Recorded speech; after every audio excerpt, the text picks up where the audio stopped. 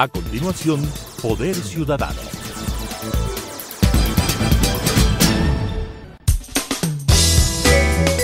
Clasificación B, bajo supervisión de un adulto.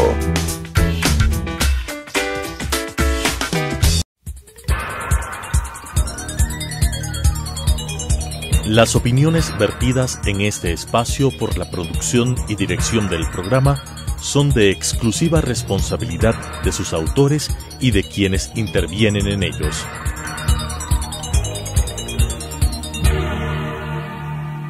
Telesucesos Canal 29 UHF presenta Poder Ciudadano, una ventana construida desde la visión plural ciudadana para la expresión de sus anhelos, demandas y aspiraciones, con la conducción del doctor Patricio Picón.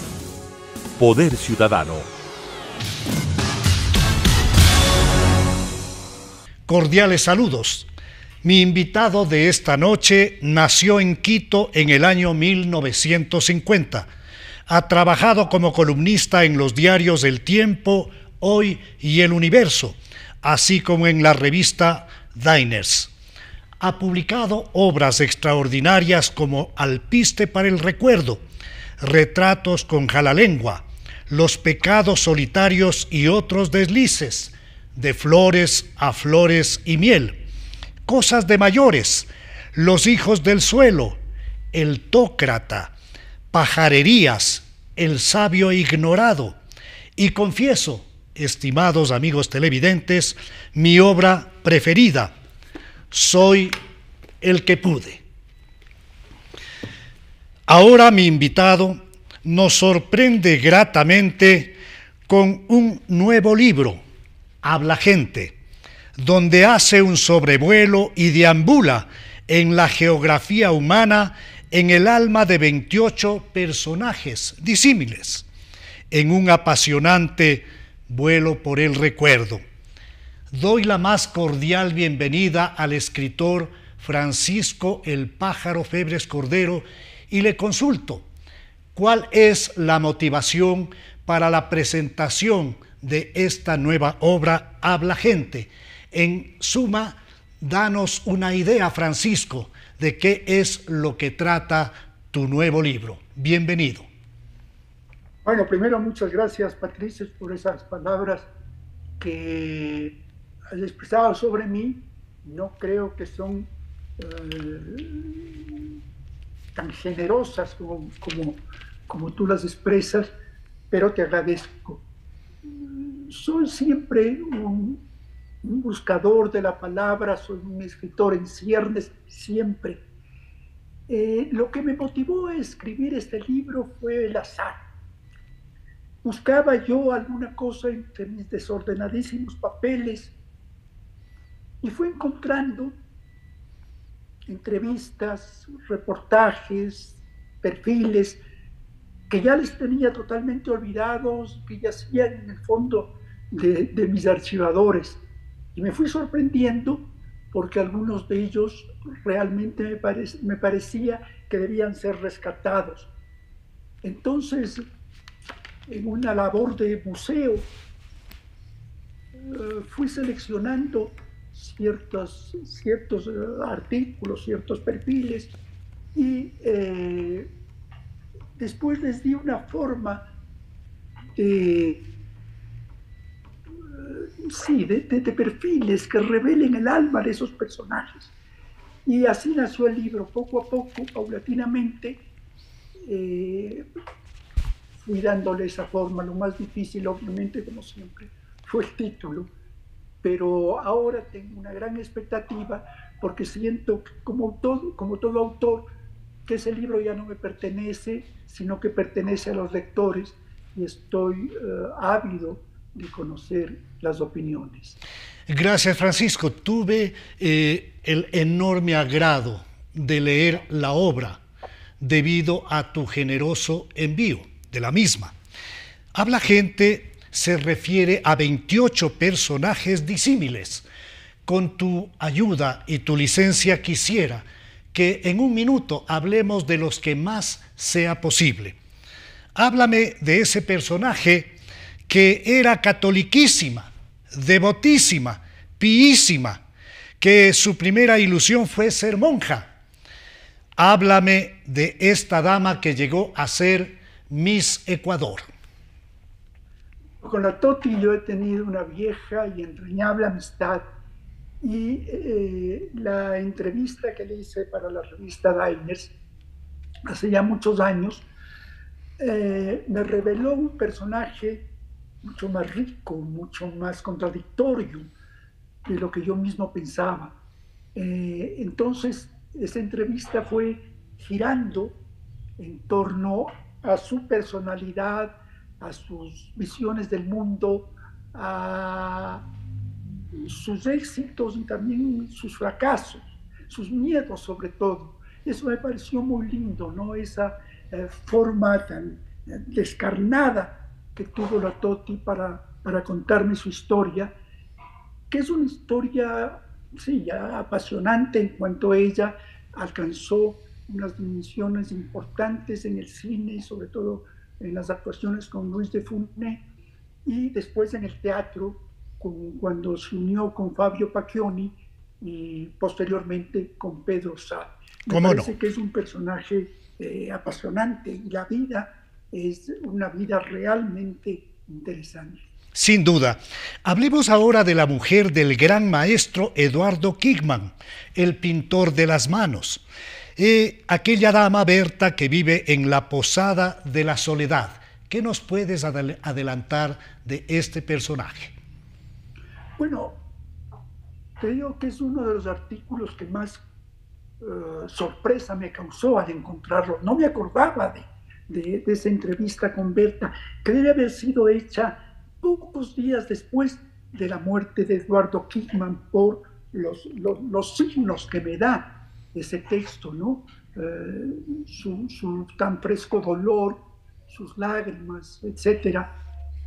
Y lo interesante que me pareció, lo, fascinante de, esa entrevista con Berta fue que me fuera contando esos pormenores, esas minucias de la vida del pintor, eh, esas eh, obsesiones, esos,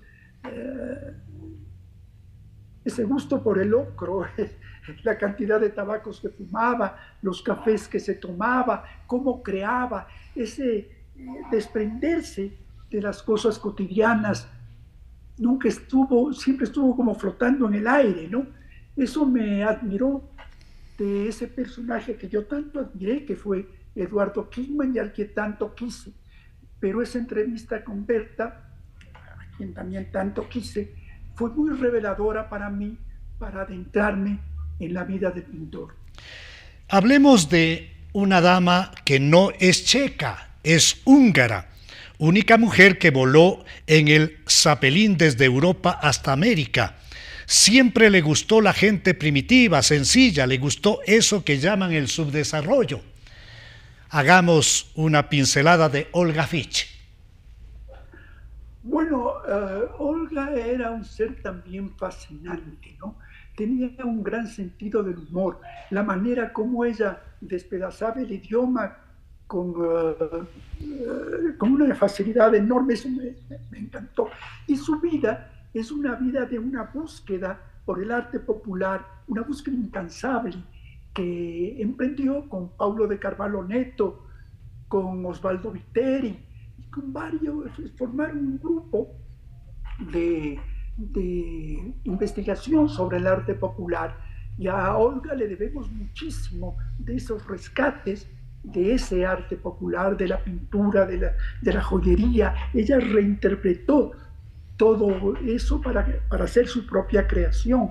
Desde ese punto de vista, eh, es un personaje al, al que el Ecuador le debe mucho. Es pequeñita, muy frágil, con su pelo largo negrísimo cuando baila se transforma en una furia, en un vendaval, abre sus brazos y llena todo el escenario. Susana Reyes. Bueno, Susana eh, me impresionó primero en el escenario.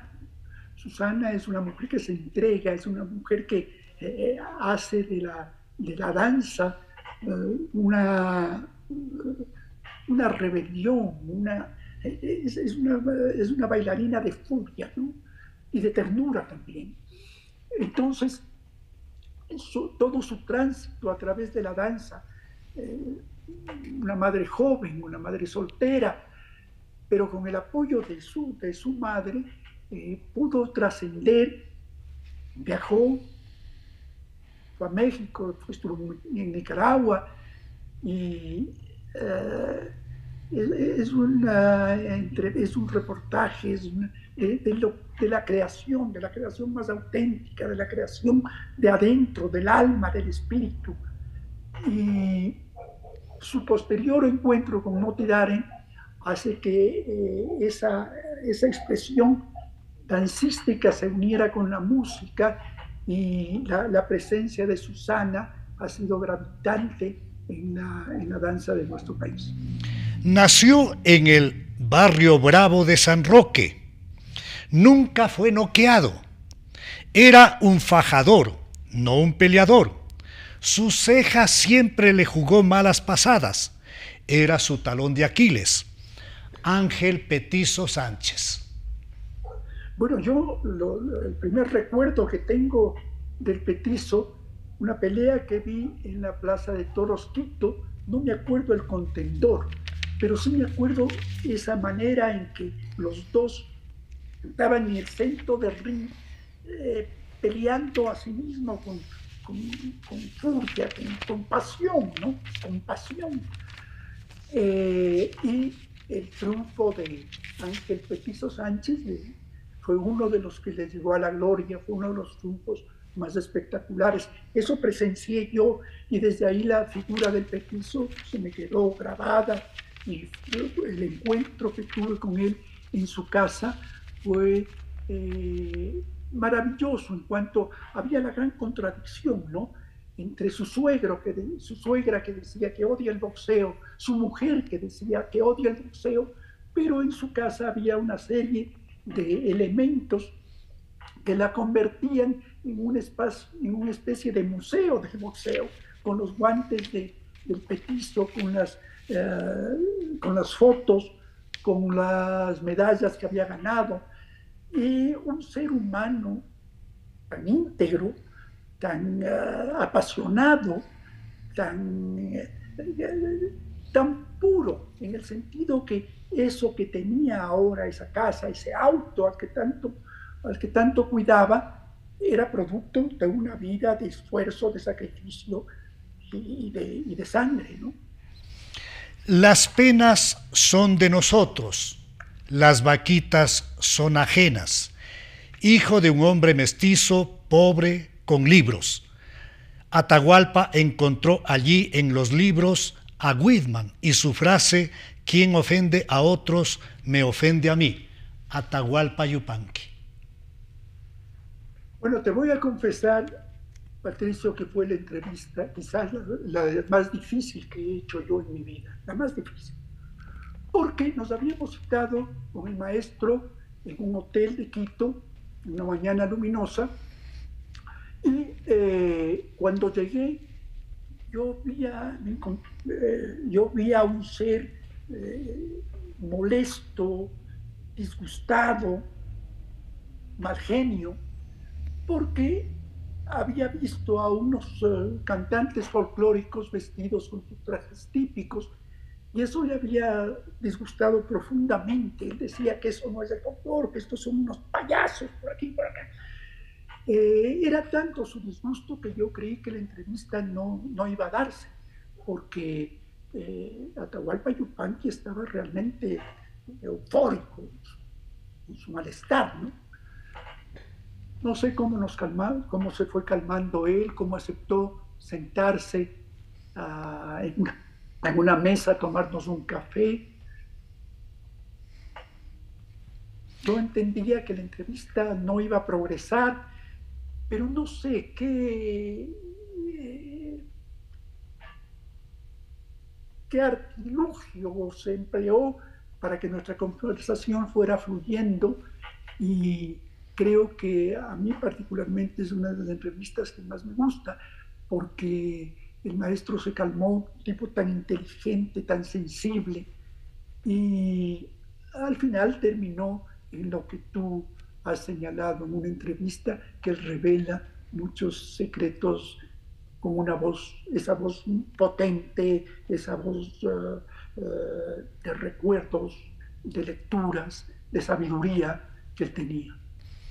Camina por la mariscal, anda siempre mirando al piso. Lo que hace quiere llamar caspa urbana, porque recoge los residuos que caen de la piel de la ciudad. Háblanos en un minuto de John Hay. John era un ser maravilloso, también era un ser maravilloso. Un gringo que nunca aprendió a hablar bien español, justísimo.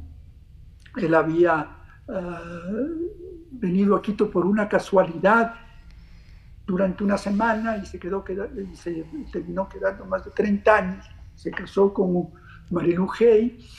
Eh, era un tipo increíblemente culto, increíblemente creativo. Y esas esculturas que hizo y que las expuso, me parece que en la galería, eran producto de su tránsito por la Mariscal. Él iba encontrando pequeñas piezas de metal, eh, cosas que la gente había botado por ahí y las recogía y con eso hacía unas esculturas que, eran verdaderamente un prodigio. Eh, de John tengo un recuerdo grato, no solo como ser humano, que fue maravilloso, con un sentido de humor, un sentido de la ironía muy rico, y también un creador de, estas esculturas con desechos. Un personaje muy entrañable para mí. Su primer cuento lo llamó El Hotel Automático. Lo hermoso de la vida no está en lo liso, en lo llano, sino en la subversión de la conciencia. Diplomático y también escritor, concilió esas dos tareas. Háblanos, por favor, de Jaime Marchán Romero.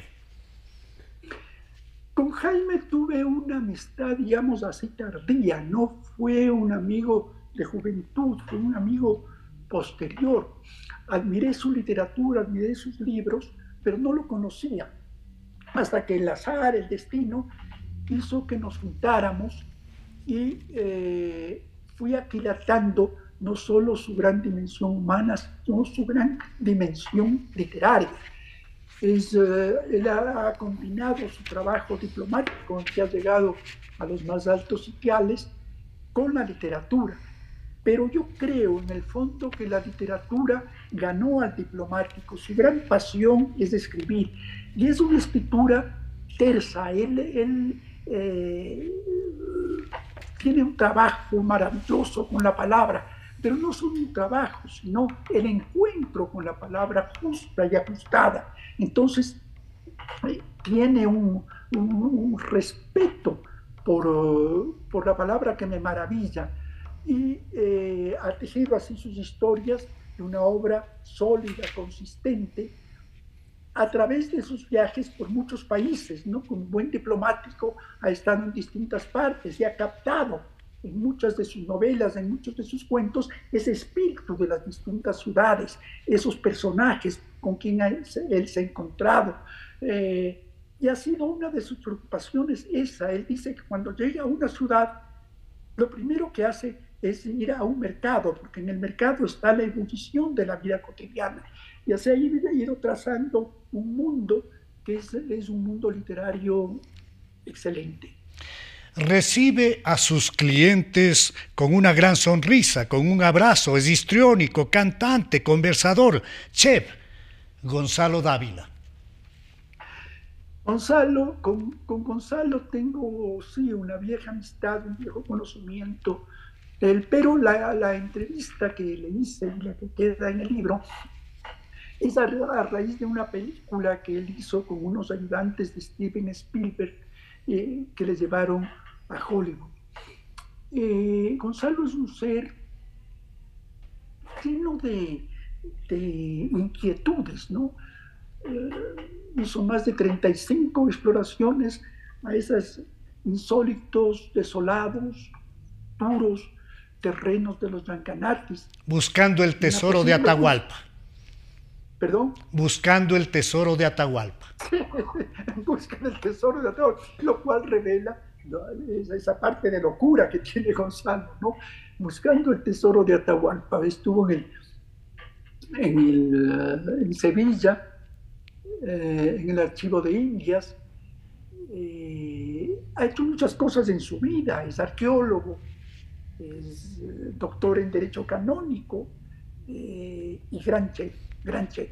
Tuvo primero las redes, que era un sitio de reunión de políticos y de, intelectuales en Quito. después tuvo el Mare Nostrum y lo de chef le ha llevado también a cocinar en muchísimas partes del mundo. Es un ser, además, con gran sentido de humor, inteligente, humor inteligente, fino, tiene buena voz de barítono y eh, su, lo, que me deja en la entrevista es esto, un ser siempre inquieto, un ser que busca, que busca el sentido de la vida y que lo encuentra quizás también a través de la cocina. Era parte del grupo de Guayaquil, junto con Alfredo Pareja Díez Canseco, José de la Cuadra, Enrique Gil Gilbert y Joaquín Gallegos Lara. España le apasionó. Es una tierra de maravilla, donde el que no es Quijote es Cristo o es torero, y a la vez puede ser también las tres cosas juntas.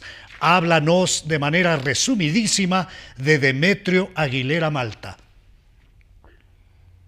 Bueno, esa entrevista la hice a, partir de que ganó el premio, eh,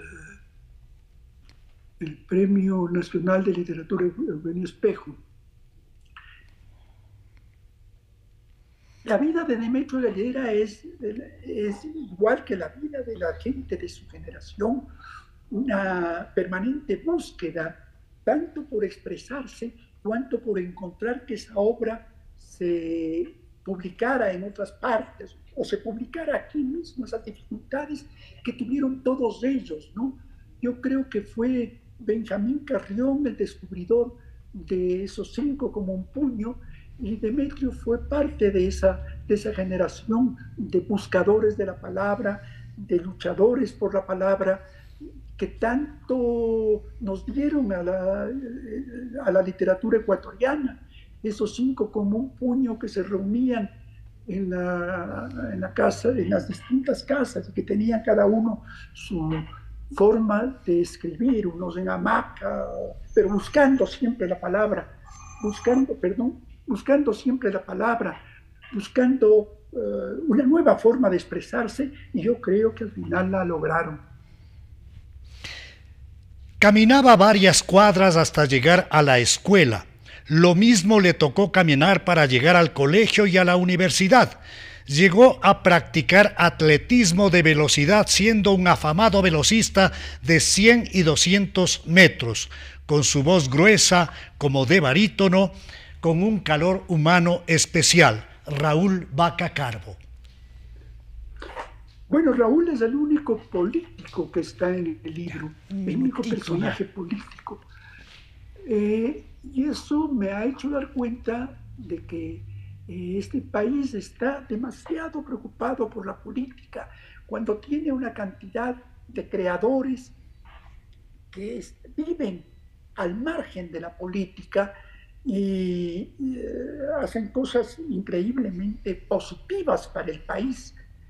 En el caso de Raúl, como digo, es el único político porque a mí siempre me admiró esa honestidad, una honestidad a toda prueba, esa, esa, creencia en, en, las cosas que él pensaba que son justas, esa visión del país, esa actitud tan generosa que tuvo para, para los demás. Entonces me parecía que Raúl representaba al político que nosotros necesitamos en la patria. El tiempo me juega una mala pasada, Francisco. Se nos queda por decir algo sobre el negro Fontana Rosa, sobre Carlos Armando Romero Rodas, Luis Muecay, eh, Sergio Guarderas, Paco Tobar, Ramón Piguaje, Charo Francés, Aristides Vargas, María Fernanda Heredia, Carlos Calderón, Don Benítez o el famoso pescuezo Hugo el Betunero y Jockey. Sin embargo, estoy seguro que todos quienes nos ven y escuchan van a tener especial interés de acudir a la presentación del libro Habla Gente de Francisco Febres Cordero el miércoles 29 de mayo a las 18.30 horas en el auditorio de la Flaxo. Quiero dejarte en el último minuto del programa para que nos entregues un mensaje de despedida. Mil gracias, querido Patricio, primero a ti por esta conversación y después, como autor, como te decía, yo tengo la expectativa de cuál va a ser la recepción de este libro. Un libro que ah, yo he hecho, como todas las cosas que hago, con verdadera pasión. Yo no soy un intelectual, soy un hombre visceral, soy un hombre que vive las cosas más con las tripas, con el, corazón. Y eh, espero que habla gente, que en habla gente el lector encuentre estos perfiles que le sean de interés y que de alguna forma eh, por ellos logre conocer otros aspectos de la vida y del pensamiento de los ecuatorianos.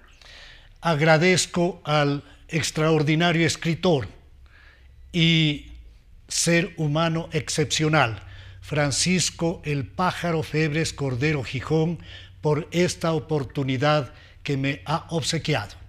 Con ustedes nos volvemos a encontrar en la señal de Telesucesos el próximo viernes a las 19.30, el domingo a las 21.30 y luego estaremos en redes sociales. Una buena noche. Las opiniones vertidas en este espacio por la producción y dirección del programa son de exclusiva responsabilidad de sus autores y de quienes intervienen en ellos.